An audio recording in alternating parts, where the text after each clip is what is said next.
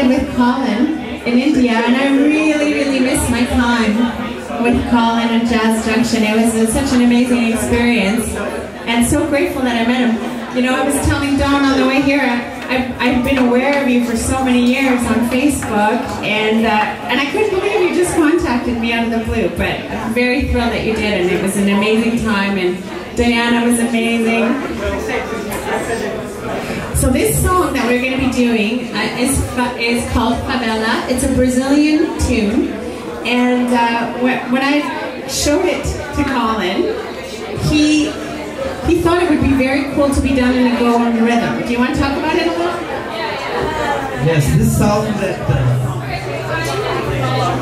Laura's speaking about is called Favela and it's usually done in a 3-4 tempo, a Brazilian song. I suggested why not turn it into a Goan song. And the music in Goa called the Mando is usually done in a 6-8 tempo. So we just doubled the time of the Brazilian song and turned it into a Goan song. So here's Favela the Goan way. This is Favela.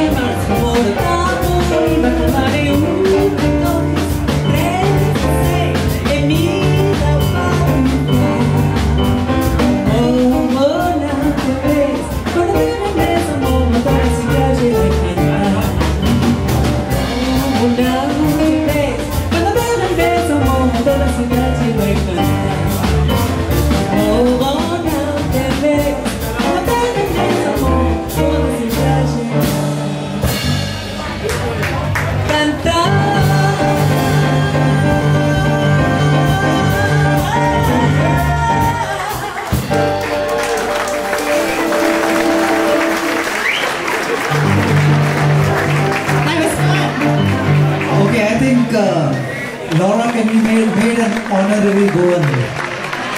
She even has a Goan surname, Fernandez. Thank you, John. An honor having you on stage with us. Thank you, Laura.